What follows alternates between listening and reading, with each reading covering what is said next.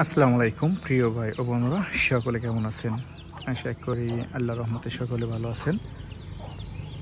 আমি আপনাদের দোয়ার বরকতে আল্লাহ রহমতে এখনও পর্যন্ত ভালো আছি। প্রিয় ভাই ও বন্ধুরা আপনাদের মাঝে দীর্ঘদিন পর আবারও নিয়মিত ভিডিও নিয়ে হাজির হলাম।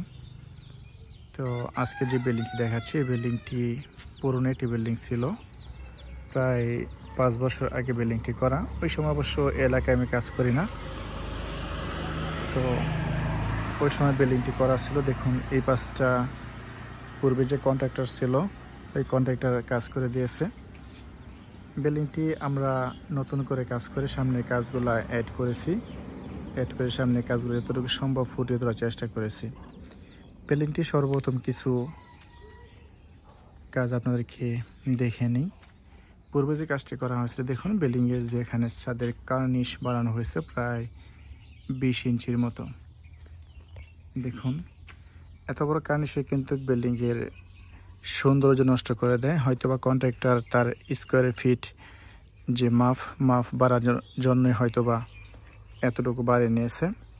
তা আমরা কিন্তু সর্বোচ্চ এক ফিট কার্নিশ দিয়ে থাকি, অনেক সময় ছয় ইঞ্চিও দিয়ে থাকি। এক ফিটের উপরে কোনো জায়গায় আমরা কার্নিশ দিই না, মূলত। এত বড় কার্নিশ দেওয়াটা কিন্তু বিল্ডিংয়ের সৌন্দর্য আসলে নষ্ট করে দেয়। তো আমরা যে সামনের কাজগুলো করেছি, সামনের কাজগুলো আপনাদেরকে দেখানোর চেষ্টা করব। এবং সামনের কাজগুলো করতে কতটা খরচ গেছে সেটিও আপনাদেরকে বলার চেষ্টা করব।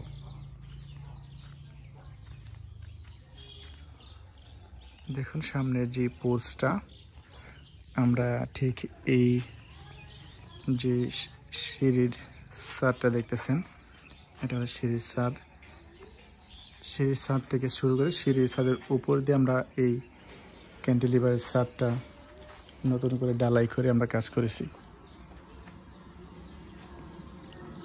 এবং সামনে যে বারান্দার রেলিংগুলা, ছাদের উপরে রেলিংগুলা, রেলিংগুলো নতুন করে অ্যাড করেছি। উপরে গাঁথনিগুলো নতুন করে করেছি সিঁড়ি রুমের গাঁথনিগুলা। এবং এই পিলারগুলো নতুন করে করা হয়েছে। পিলারগুলো করে আমরা ডিজাইন সহ বিল্ডিংয়ের কাজটি কমপ্লিট করার চেষ্টা করেছি। তো বিল্ডিংয়ের ভিতরে অল্প কিছু কাজ এখনও বাকি আছে। ভিতরের সানচিটের যে শেলগুলো সেলগুলো এখনও করা বাকি। অন্যথায় আমরা অন্যান্য কাজগুলো মোটামুটি হ্যান্ড ওভার দিয়েছি। আমার যে সামনে কাজগুলো বাকি আছে, এগুলা টাইলস হবে এটিও টাইলস হবে। তো আমরা আমাদের কাজগুলো আমরা সম্পূর্ণ করার চেষ্টা করেছি। এই যে পিলারগুলো দেখতেছেন এবং উপরে ডিজাইনগুলো। উপরে ডিজাইনটা শুধু মহাজন এক্সট্রাভাবে বিল দিয়ে করে নিয়েছে পিলারের ডিজাইন এবং চালে একটা ডিজাইন করা ছিল। ওর ডিজাইনটা তাদের পছন্দ হয়, নতুন করে এই ডিজাইনটা করে দিয়েছি। তো এবং রেলিংয়ে কিছু ডিজাইন করেছি, হালকা পাতলা। এবং এই পোস্টটা নতুন করে ডালাই করে আমরা কাজ করে দিয়েছি। টোটালি বিল্ডিংটি প্রায় দুই হাজার স্কোয়ার পাঁচটি বেডরুম, ভিতরে একটি ডাইনিং, একটি কিচেন, দুটি বাথরুম গোসলখানা টোটালি আমরা দুই লক্ষ ত্রিশ হাজার টাকা দিয়ে যেই কাজগুলো দেখতেছেন, এই কাজগুলো আমরা পুনরায় করে দিয়েছি। ভিতরের প্লাস্টারগুলা এবং সামনের এই কাজগুলা। আউট সাইড আগে প্লাস্টার করা ছিল, শুধু সামনে প্লাস্টারগুলো নতুন করে করে নিয়েছি। তো আমাদের কাজগুলো আপনাদেরকে প্রতিনিয়তই দেখানোর চেষ্টা করি।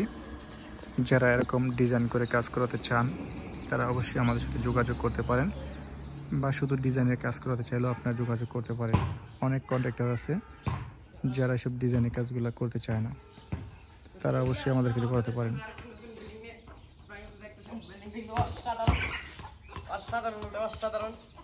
অস্থির।